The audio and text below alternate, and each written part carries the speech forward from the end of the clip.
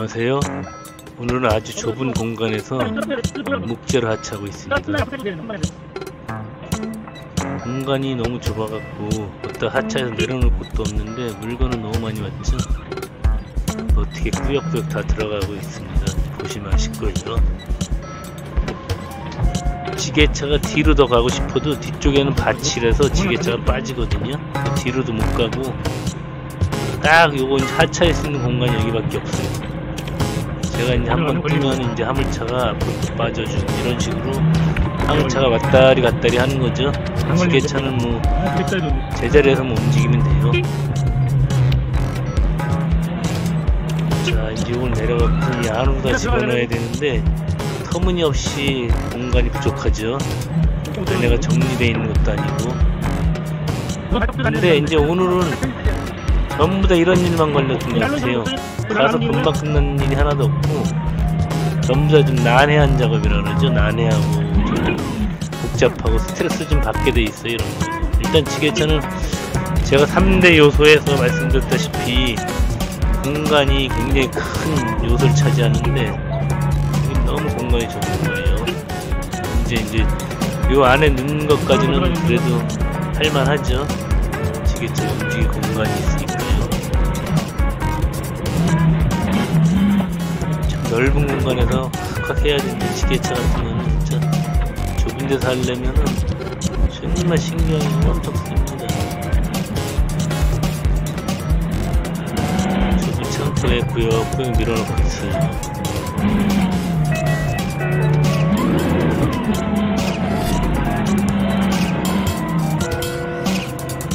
통백 자루 말고도 앞에 또 나무들이 잔뜩 쌓여 있죠. 저것도 다 내릴 거예요. 뭐 어디다 창고에 들어갈 공간은 없고 그런데 어디다 쌀 건지 모르겠습니다. 그냥 지게차는 좌우로 움직일 수 없기 때문에 화물차에 신호를 보내서 뒤로 후진을 시켰어요.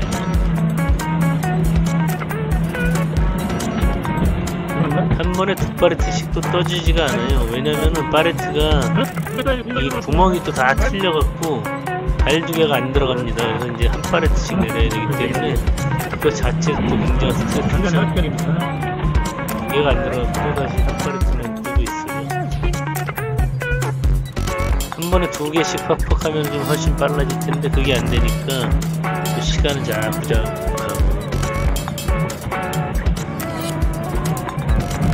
또 이제 이곳은 너무 잘하는 그런 곳이기 때문에 요금 받기도 되게 불편합니다. 일을 더 했다려 또 그런 게 있어요.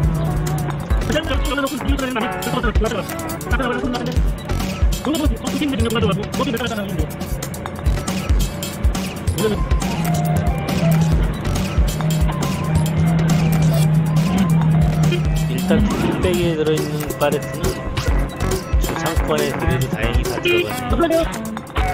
파레트, 일곱 파레트, 일곱 파레트인데 간신히 밀어 넣으니까 다 들어갔어요. 근데 이제 안에 잘 정리가 돼 있으면은 조금 더 넣을 수 있을 텐데 조금 그렇습니다. 지금 현재 이제 이 자재를 시키면서 여기 좀 축검 이런 자재 시켰거든요. 그러다 보니까 그 양이 얼마큼 되는지 이제 가늠을 못 하셨다 그러더라고요. 뭐 충분히 들어갈 줄 알았는데 막상 차가 와보니까 굉장히 많은 거예요. 저 좁은 공간 다 집어넣으려니까 어림도 없죠. 그래서 이제 결국에는 지게차를 하차만 해놓고 가장 가까운 곳을 두고 이제 사람의 힘으로 그걸 다 다시 공기를 집어넣으려고 시도합니다. 저는 이제 끝까지 넣어드리고 싶었는데 너무 공간이 없어요. 일단 작은 나무 같은 거 한번 떠갖고 한 번에 다 떠버립니다. 그래서 하우스 바로 앞에 붙여놓으면 사람 손으로 일일이 이제 다 안으로 집어넣고 싶어요.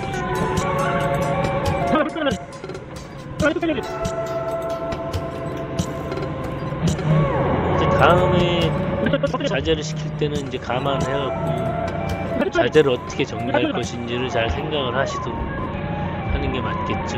지게차 일하고 또 사람이 손으로 더 많이 일을 해야 되니까 뭐 지게차 불러는 의미가 크지가 않잖아요. 그래도 지게차가 왔을 때 최대한 많은 일을 해주는 게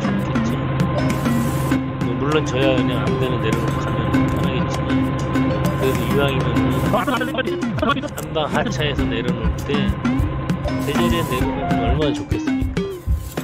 여기는 이제 공간이 너무 좁다 보니까 그게 좀 힘들 것 같아요. 제가 조금 조언을 해드리긴 했는데 이렇게 돼 있을지 안 돼 있을지는 이제 다음 파스에 자제가 왔을 때 가보면 알겠죠? 아마도 그건 안 바뀔 것 같아요 이게 이제 지게차로 뛰면 이거 한 번에 다 떠버리는 거지만 이걸 사람이 그 안으로 집어넣으려면 굉장히 많은 지게차는 한 번이지만 이거 사람이 나르려면 정말 이제 지게차 힘이 어떻다는 걸 절실히 이제 실감하게 되겠죠. 상당히 많은 양입니다. 사람이 혼자 나르기에는 자재를 하우스에 바짝 붙여 내려놓고 다음에 이제 큰 나무를 따야 되겠죠. 긴 나무요. 긴 나무는 어디다 내려놔야 될지 모르겠습니다.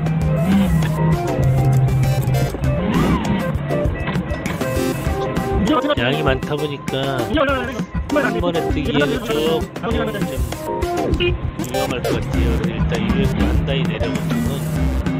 멀치 같은 거 떼고 들어오겠습니다.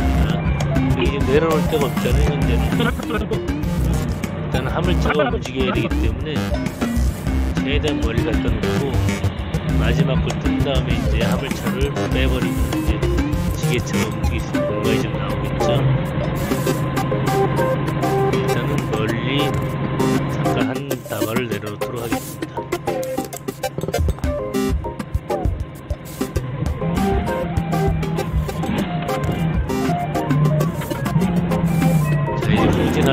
후진하면 한 번에 다 떠갖고서 내려놔야 되는데 이제 어디다 내려놓을지는 이제 고민을 해도록 해야 되겠죠. 위에 거 내리려다가 이제 한 번에 내려놓을게요. 사실 이 상태에서는 잘못 센터 맞춰 들어가면은 그 왼쪽 부분이 조금 무거운 거죠. 근데 그 똑같은 상태로 왼쪽에 작은 나무가 한 다발 올려져 있잖아요. 그 잘못 센터 맞추면은 왼쪽으로 넘어갈 수도 있는 상황이 거 잡아줘야 돼요. 비교적 이제 밑에 나무들이 무게가 있기 때문에 정도 안정적이긴 하네요. 최대한 가까이 하우스 앞에 하차를 해놓고 그 다음에 이제 작은 다발은 옆에 조그만 하우스가 하나 있어요. 거기에다 이제 큰 다발을 다 집어넣으려고 그랬는데 지게차가 움직이는 공간이 없는 거예요. 그러다 보니까 요거는 전체적으로 다그 하우스 앞에서 하차해놓고 나머지 한 다발만 작은 하우스 앞에 집어넣도록 하겠습니다. 이거 이제 다 사람이 또 해야 될 일이에요, 결국에는.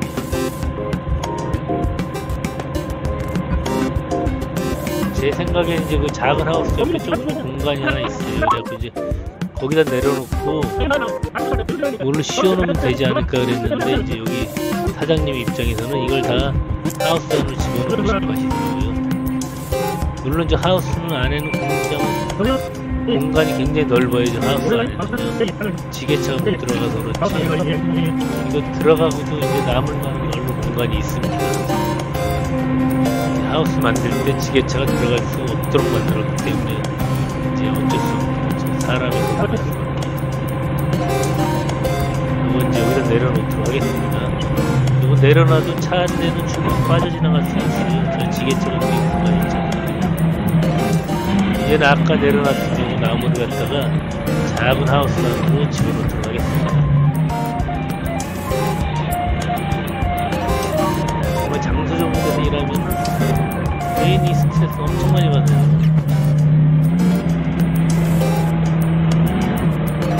이걸 갖다 옆에 오른쪽에 조그만 하우스 보이시죠? 비닐하우스. 그 안에다 집어넣어야 되는데 이 자세는 안 나오죠?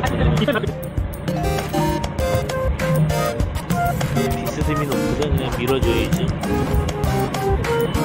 그러다 보니까 이쁘게 낮을 수가 거죠. 저희가 이제 정업용 지게차는 작업하면서 보면 정말 이쁘게 놔주고. 제대로.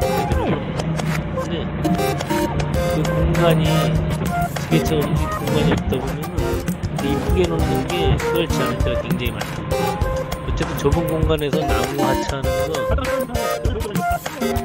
스트레스가 있긴 있었지만 그래도 이제 무사히 하차한다 끝났습니다. 다만 이제 사람의 힘이 더해져야 된다는 게좀 안타까울 뿐이죠. 고생하셨습니다. 수고하세요. 감사합니다.